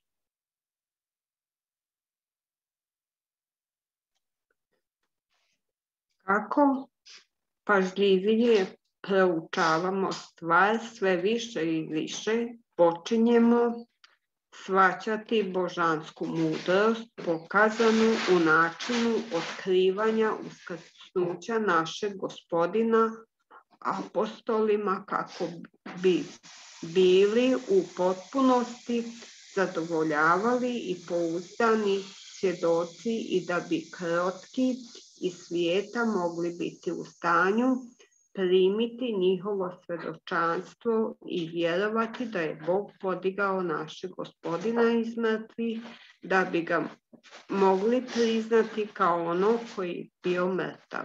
No sada živi zauvijek i da bi vjerujući mogli doći k Bogu po njemu. I kada ga razmatramo pod vodstvom Svetog Duha istine, naše se naši se umovi proširuju i mi ga vidimo ne više kao čovjeka Krista Isusa, nego kao gospodina slave i moći sudeonika božanske prirode. I takvo ga mi poznamo za čiji dolazak i kraljevstvo se crkva toliko gorljivo molila i česnula. I nikak Nitko tko ispravno prepoznaje njegovo veliko uzvišenje ne može očekivati kod njegovog drugog dolaska čoveka Krista Isusa u tijelu od mesa pripremljenom za žrtvu je ranjeno i dano u smrt kao naša otkupnina, niti bismo trebali očekivati da će se on kod svog drugog dolaska pojaviti ili očitovati se u različitim tijelima svijeta. To je bilo potrebno za one rane svjedoke, ali ne i sada. On će, kao što ćemo vidjeti, očitovati svoju drugu prisutnost veoma drugačije. Da. Hvala ti. E sad, kad malo pažljivije znači proučavamo ovoga, te njegove manifestacije jel, nakon njegovog uskrsnuća, koji su naši zaključci? Kad malo pažljivije razmatramo jel, kako se otkrio nakon svog uskrsnuća apostolima, Jadranko. prvo, ako mi sve vjerujemo e, tom, tome šta je Isus napravio za nas, da jedino možemo doći preko njega e, kod Boga, e, da ćemo, da je on će biti gospodin slave i moći i sudionika božanske prirode, da ćemo i mi biti zajedno s njime, onda ne možemo smatrati niti vidjeti, niti nelogično je razmišljati da bi e, mogli doći u ovakvim tijelima kao što sada zamišljamo. Niti da će isto, pošto je Isus se promjenjivao u različita tijela, ali to je samo bilo da dokaže svojim apostolima da je on i uskrsno i da, da ih ne preplaši na koncu konca, ili mi sami ne znamo, bit će u duhovnom stanju, ali kako je to duhovno stanje ne zna se. Ovaj, e, bilo bi smiješno i pomisliti da bi, e, znači, onako kako Isusa zamišljamo, da bi se to tako i ostvarilo. Nego će biti sigurno u duhovnom Točno. obličju. Tako je, je, je. Bravo. Tako je, Jadranko. Jel? To su, vidite, to su sve te stvari. Znači, to je bilo, znamo zašto je to bilo potrebno, to je ostvarilo svoju svrhu, ne i nema razloga. Ali to je interesantno, jel, kako ljudi, opet ponavljam, kako ljudi, nažalost, ne uzmeju u obzir sve ostala, sva ostala obilježja božanskog plana, znači cjelokupno biblijsko svjedočanstvo, da bi onda mogli donijeti, znači o bilo koje temi da je riječ. Sad je ovo tema, recimo, sad mi trenutno ovo proučavamo. Ali evo, mislim, stvarno možemo vidjeti koliko je tu nama on dokaza, iznio biblijskih dokaza. Evo i sam čovjek dođe do, dođe do, dođe do zaključka da je to stvarno tako. Jel? A kažem, ne znam zašto je problem toliko da ne mogu te stvari uzeti u obzir. Evo i Jadranko, slobodno. Pa možda mogu navesti jedan razlog zašto to tako ljudi misle. Gledaju puno filmova, onda zamišljaju, isto sada spomenuli smo i pasiju i sve, i onda zamišljaju isto tako, zamišljaju i sebe uz njega u ovakvom obličju ili im je teško možda razumjeti da bi to moglo biti nešto drugačije. Da. Ali ako mi shvatimo da i Bog je duhovno biće, Točno. onda trebali bi se u tom nekako svoje mužane stanice prilagoditi tome, ali mnogima je teško. Ja ih ih svačam na koncu konca. Ne. To, to se jako dobro istaknuo, Jadranko. Previše su materijalni, previše tjelesni. Pa onda na taj način gledaju na stvari. Jel? Točno. Dobro, e, ako niko nema ništa još za dodati, e, možemo dalje na sljedeći znači, odlomak. 135. stranica, drugi odlomak. Jel? Sestra Eva. Pa te krive religije Isusa kod svakog praznika prikazuju ga kao mm, kao bebu, jednostavno ne znaju o čemu se radi, o kome se radi, oni o tome uopšte ne znaju valjda ni razmišljati ko je u stvari Isus ili šta to uopšte znači to ime i šta je on uradio za nas. Jer prije, na primjer, radi kad sam ja odlazila u crkvu i nešto malo sam tela saznat, nije se to moglo saznat. Oni su ga prikazali kao neku bebu koja leži ne znam ni ja gde, a posle toga ništa nisu objašnjavali zašto, šta, kako i jednostavno ljudi nisu ni upoznati. Mm. Točno, prosječni ljudi, da. Dobro, dajmo sad dalje onda znači 135. stranica, drugi odlomak, jel? E, sad mislim da ja čitam, jel? E, kaže ovako.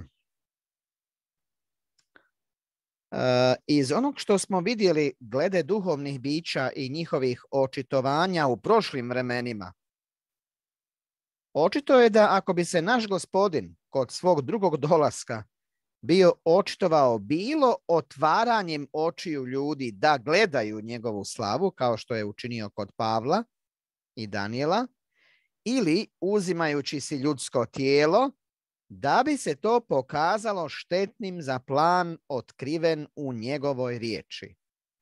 Učinak pojavljivanja u slavi svijetu, kada bi im očima bilo omogućeno da ga vide, taj bi nadmoćni pogled gotovo paralizirao.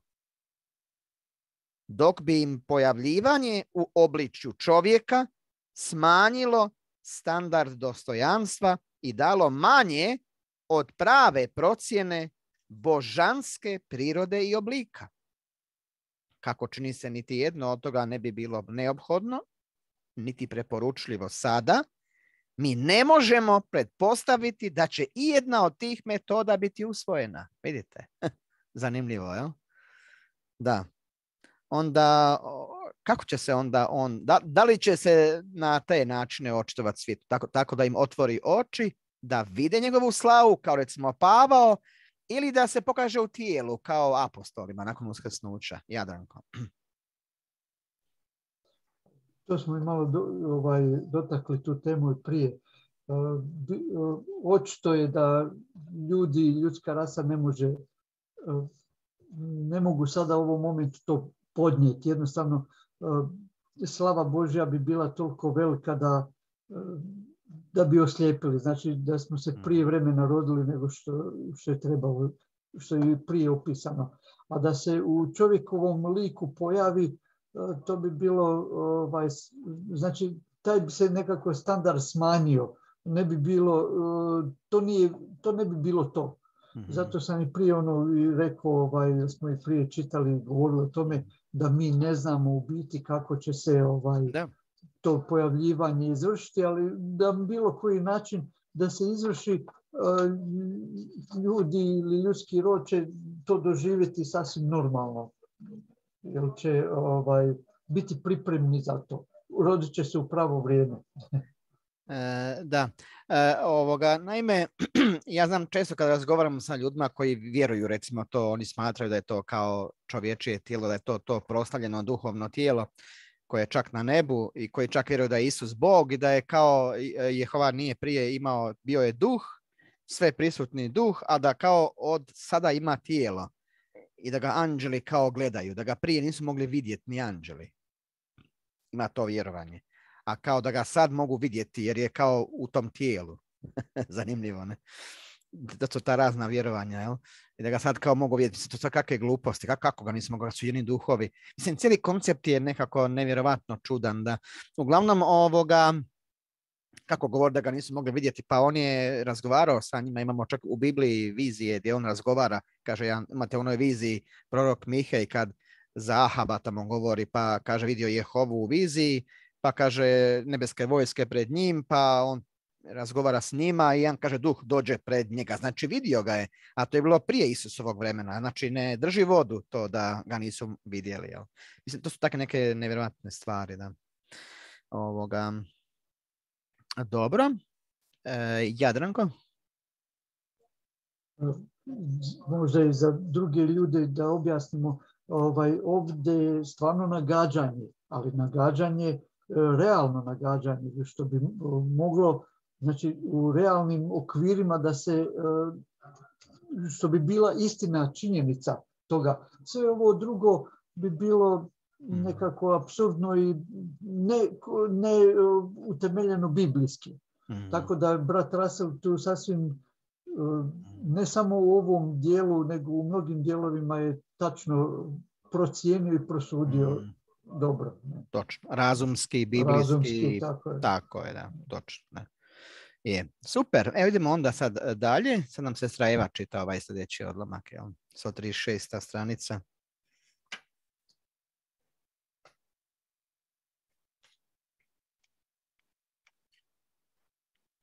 Baš naprotiv, trebali bismo očekivati da bi se Krist očitovao u tijelu čovečanstvu na isti način kao kada je gospodin postao tijelom i prebivao među ljudima. Bog se očitovao u njegovom tijelu. Ljudska priroda kada je savršena i u skladu s Bogom je prilika Božja u tijelu. Stoga je prvobitno savršeni Adam bio u obličju Božjem i savršeni čovjek Krist Isus bio je također tako da je mogao reći učeniku Filipu koji ga je tražio da vidi oca. Tko je video mene, video je oca, video je obličje Boga u tijelu. Bog se očitovao u tijelu.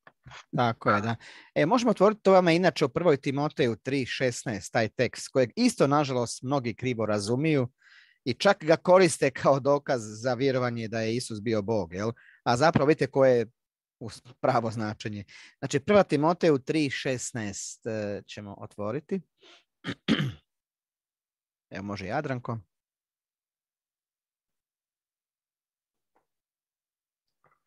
Mm zaista velika je tajna pobožnog života. Krist se pojavio u ljudskom tijelu, potvrđen je od duha, viđen je od anđela, objavljen je narodima, po svijetu su vjerovali u njega, na nebu je uzdignut u slavi. Dobro, ovaj je prijevod dobar iz kojega je Jadranko čitao, ali inače dosta prijevoda ima gdje tu koriste riječ Bog se pojavio u tijelu. Iako je to točno, to isto nije pogrešan, e, samo što se može izvući krivi zaključak, jel? Ako se ne razumije u kom smislu se Bog očitovao u tijelu. Znači, mi vjerujemo u to, da. Mi možemo reći, da, je. Bog se je očitovao u tijelu, ali kako? Čak je i rekao sam Isus Filipu, Filip njemu kaže, pokaži nam oca, to imate ovdje ako otvorite Ivan 14. poglavlje, kad razgovaraju oni, e, pa jedan od učenika ili Filip mu to je rekao, Ivan 14. poglavlje, možemo otvoriti isto. Znači Ivan 14. poglavlje, evo osmi, redak i deveti. Sestra Eva. Ivan 14, 8 i 9. A Filip mu reče, gospode, pokaži nam oca i to nam je dovoljno. Isus mu reče, već sam toliko vremena s vama, a ti me Filipe još nisi upoznao. Ko je video mene, video je i oca kao onda. Kako onda kažeš, pokaži mi oca? Da. Onda u kom smislu su ga vidjeli? Kakva je savršena ljudska priroda? Jadranko. U obliču Božjem. Bravo. Kako je bio čovjek prvi stvoren? Što je rekao Jehova Logosu? Načinimo čovjeka na svoju sliku. On je na taj način bio Bog očitovan u tijelu. Kroz Adama. Tako je kroz Isusa. Jer je bio savršen čovjek. To je bio najbliži mogući način na koji su ljudi mogli vidjeti Boga. Kroz Isusa. Jel? Ovoga. Dakle, u tom smislu. Ali samo u obliču. Tako je, tako je, da. Ne doslovno, naravno. Jel? Znači, nego samo u obliču, tako je, da. Znači, u tom se smislu on očitovao u tijelu, jel? E, sada imamo, sad, iz kog smo to razloga spomenuli. Što kaže sljedeći odmah, sam to čita Jadranko, sljedeći odlomak, ovaj drugi. Jednako će tako i čovječanstvo općenito, kako se njegovi pripadnici budu postupno vraćali u davno izgubljeni lik Boži, biti tjelesne slike i obličja Oca i Krista. Kao što smo vidjeli na samome početku milenija, bit će primjeri savršenog ljudstva pred svijetom. Abraham, Izak i Jakov i sveti proroci, već prokušani i dokazani, bit će kneževi. Među ljudima nositelji i predstavnici duhovnog nevidljivog kraljevstva. U njima će se Krist očitovati u njihovom tijelu kao što se i Otac očitovao u njegovom tijelu. I tko će god doseći savršenstvo i doći u potpuni sklad s voljom Kristovom, svaki takav će biti Božji i Kristova slika i u svakome od njih Krist će se očitovati. Eto vidite. Onda sad dolazimo do, do onoga što je predstavljalo ono pokrivalo koje Mojsije stavljao na lice, jel? Pa sam ja rekao da to predstavlja tijelo. Onda na samom početku milenija, kako će se Krist očitovati u tijelu? To je pred nama, to je jako blizu taj događaj. Jadranko? Može se ponoviti pitanje, slabo mi Znači, kako, na samom početku milenija, kako će se Krist očitovati u tijelu?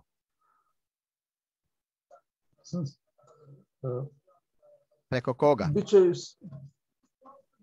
preko svoga oca. Ne. Pa, Biće savršeno ljudsko tijelo pred u obliču, u obliču oca i Krista. A ko će to biti? A ljudi. To, ko će to uskrsnuti na početku milenija? Pre, to je jako blizu taj događaj. Isus. Pa on je već uskrsnuo. Onda Bog. E, sestra Eva?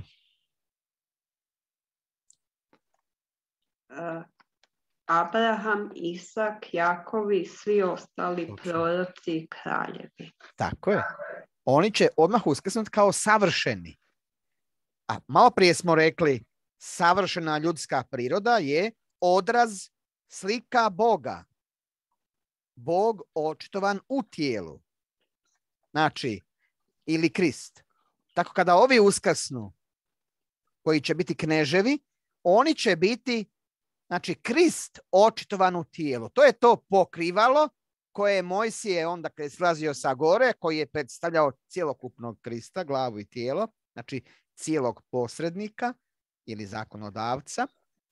Kaže da će iz Siona izići zakon, a riječ Jehovena iz Jeruzalema. Jel?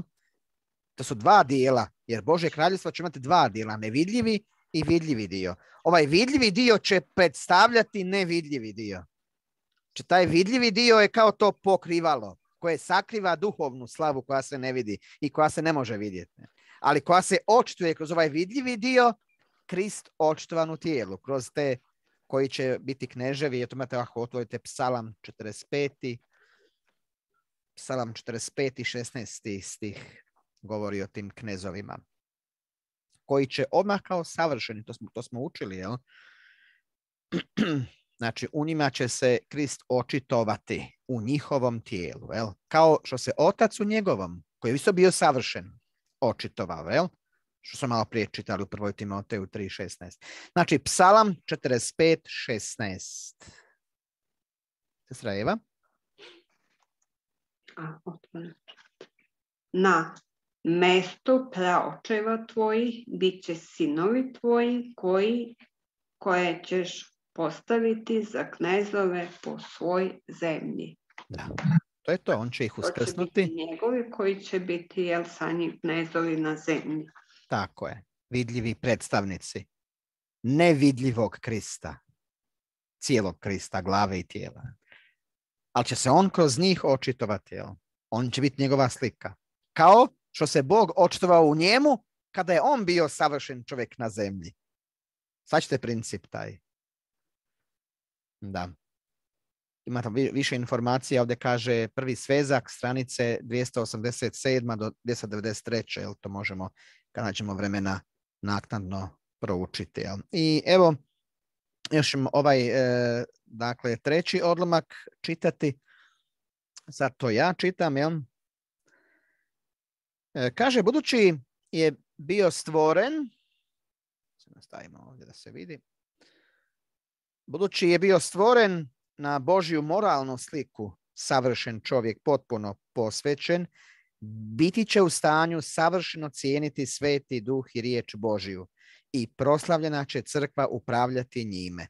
Nema sumnje isto tako da će vizije i izravna otkrivenja i opće komunikacije između duhovnog kraljevstva i njegovih zemaljskih predstavnika i nositelja biti mnogo otvorenije i općenite nego slične komunikacije koje su bile i kada prije. Mnogo više po zajedništvu iz Edena prije nego je grijeh donio osudu i razdvajanje od Božije naklonosti i općinstva. Jel? Onda koje će biti stanje savršenog čovjeka što se tiče svetog duha, Božje riječi, koje metode komunikacije će se najvjerojatnije koristiti jel, između znači, duhovnog kraljevstva i njegovih zemaljskih predstavnika. Brat Jadranko. Pošto će ljudi biti savršeni i pomoću ovih predstavnika knezeva, kneževa koji će biti na zemlji, koji će biti, kako bi rekao, posrednici između crkve i ljudi, bit će komunikacija dobra, kako bi rekao, izvrsna.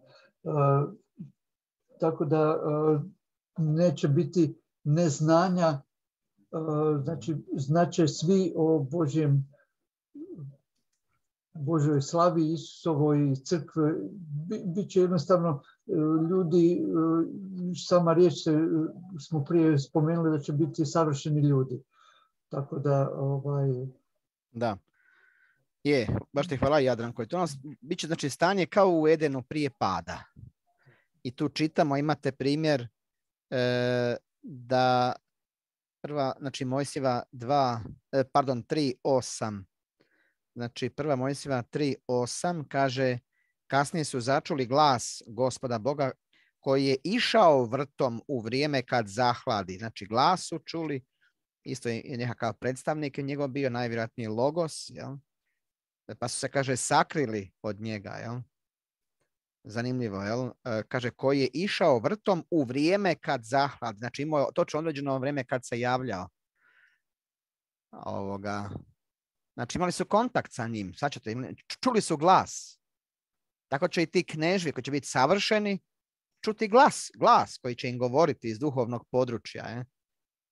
Imaće vjerojatno i viđenja, vizije, ali bit će još otvorenije. Čuće glas, naprosto koji će, ih, će im govoriti neke informacije, ćemo im davati vjerovatno, jel, ne znamo kako, ali oni će biti nama velika pomoć jel, ako budemo bili vjerni i dospijemo u taj duhovni dio gdje smo pozvani. Jel? Sestra Eva? Onda će se u potpunosti, mislim, u svemu svemu uh, ceniti sveti duh, Božja reč, Božja istina. Tako je. Jedno, to ono, ono najglavnije iz svega sa ovom je. zadnjom, zadnjim odlomkom. Točno. Onda će sve to naučiti. Jer bit će čovjek potpuno posvećen, savršen. Zato će i to biti tako. Evo tu ćemo onda stati. Znači, onda ćemo sljedeći put nastaviti dalje od 137. stranice prvi odlomak, dalje ovo razmatranje, vrlo stvarno interesantno, vidite koliko to gradiva vrlo korisnog imamo i gdje možemo stvarno onda da čovjek učvrsti svoje razumijevanje i ovoga shvaćanje. Jel? Dobro, i sad ćemo imati na kraju pjesmu, himnu koja upravo govori o e, Kristovom, e, da je on došao, znači da je prisutan. Ima naslov Krist je došao. Evo, samo ćemo to ovoga prije staviti ovdje da se vidi i onda ćemo se zajedno pomoliti kraj, jel?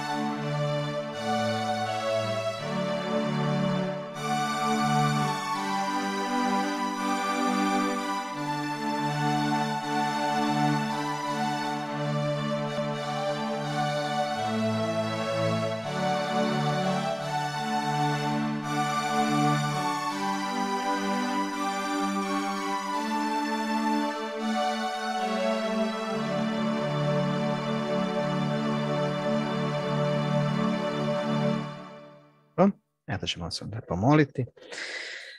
Aba, oče naš, koji si na uzvišenim nebesima, na nebeskome prijestolju, molimo te, oče, da nam dopustiš da ti se sada približimo preko našega zastupnika Isusa Krista pravednika, da ti se zaista najiskrenije i svega srca zahvalimo na ogromnoj milosti i časti koju si nam oče ukazao, e, dajući nam ovu hranu u pravo vrijeme, da shvaćamo u kojem vremenu živimo, da razumijemo način povratka i pojavljivanja našeg gospodina koji je sada ovdje, koji je prisutan i koji aktivno radi oče na rušenju sadašnjeg starog uređenja, a na ruševinama kojega će podići svoje slavno mesijansko kraljevstvo u kojemu ćemo i mi imati prednost sudjelovati oče i iz tog razloga te molimo pomoz nam da te ostanemo vjerni do samoga kraja, čak i do smrti. Podržavaj nas u tom pravcu oče, vodi nas, oblikuj i pomaži, molimo te. Smiluj nam se, oprosti ako smo bilo čemu pogriješili i prema bilo kome, ako smo bilo kakve ružne misli oče imali ili nešto krivo rekli, ti nam to molimo te oprosti. Također ti hvala na predivnoj propovedi koju smo slušali, šta to znači biti čedna ili čista djevica. Mi želimo oče da zaista čuvamo to djevičanstvo također do samoga kraja, jer o tome ovisi zapravo realizacija naših nadanja i naših ciljeva koje imamo oče u tom pogledu. Hvala ti još jednom na tome svemu i sada te molimo da primiš od nas ove zahvale i molbe u ime sada prisutnog vladajućeg kralja Krista. Amen.